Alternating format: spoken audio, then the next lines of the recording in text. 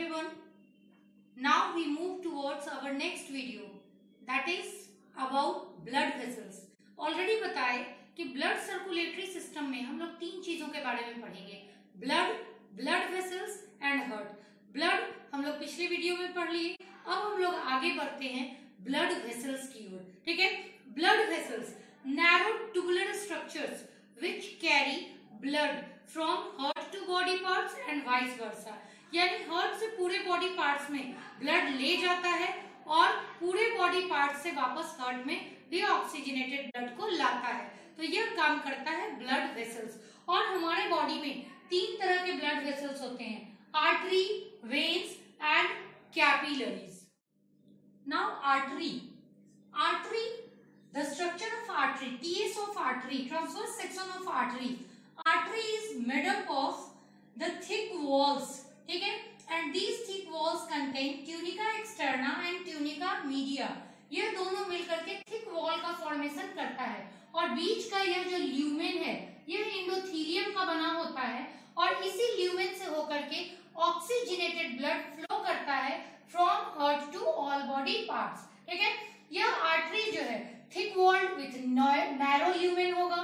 Generally carry oxygenated blood generally कह रहे हैं, यानी कि हमेशा आर्टरी ऑक्सीजनेटेड ब्लड कैरी नहीं करता। उसमें एक एक्सेप्शन होता है, और वह एक्सेप्शन है पल्मोनरी आर्टरी यह pulmonary artery impure blood deoxygenated blood carry करता है फ्रॉम हार्ट टू लंग्स इसलिए यह एक्सेप्शन है। All artery generally carry pure blood oxygenated blood but pulmonary artery carry deoxygenated blood this artery appears red ठीक है? And generally it is embedded in muscles generally ये muscles में embedded होता है.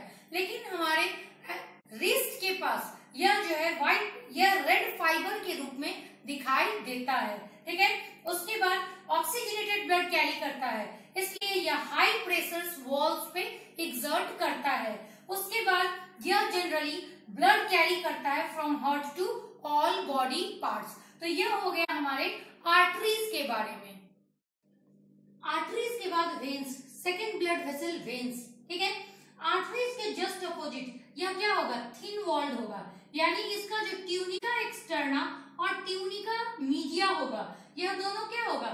Thin होगा, कम होगा। और इसका भी इनर वॉल इंडोथीलियम का बना हुआ होगा। अब इसके वॉल के थिकनेस के कम होने के कारण इसका ल्यूमेन क्या होता है? ब्रॉड हो जाता है, ठीक है? तो यह वेन्स जो है, वो thin walled with broad lumen होगा। Generally carry deoxygenated blood generally कह रहे हैं, यानी हमेशा नहीं इसमें एक्सेप्शन भी होगा और उसका एक्सेप्शन है pulmonary vein it carries oxygenated blood from lungs to heart so pulmonary vein is the exception of veins उसके बाद है, यह ब्लू और ग्रीन एपियर होता है। हमारे स्किन के ऊपर से यह ग्रीन ब्लू लाइनिंग दिखाई देता है। वह सब क्या है? वेन्स वेन्यूल्स है। नाउ वेन्स ये ब्लू ग्रीन तो अपियर होता ही है हमारे स्किन के ऊपर से। उसके बाद ये प्रेजेंट कहाँ होगा? यह मोस्टली प्रेजेंट होता है बिनिथ द स्किन स्किन के जस्ट नीचे यह ज़्यादातर प्रेजेंट होता है। उसके बाद यह जो है लो प्रेशर एग्जर्ट करता है, क्योंकि यह डीऑक्सीजनेटेड ब्लड कैरी करेगा इम्प्योर ब्लड कैरी करेगा, इसलिए यह प्रेशर ज़्यादा एग्जर्ट नहीं करता। और इसमें ब्लड का जो फ्लो है वह आर्टरीज के कंपेरिजन में कम होगा स्लो होगा। उसके बाद यह कैरी करता है blood from all body parts to heart generally इसका मूवमेंट जो है बॉडी पार्ट से हर्ट की ओर होता है।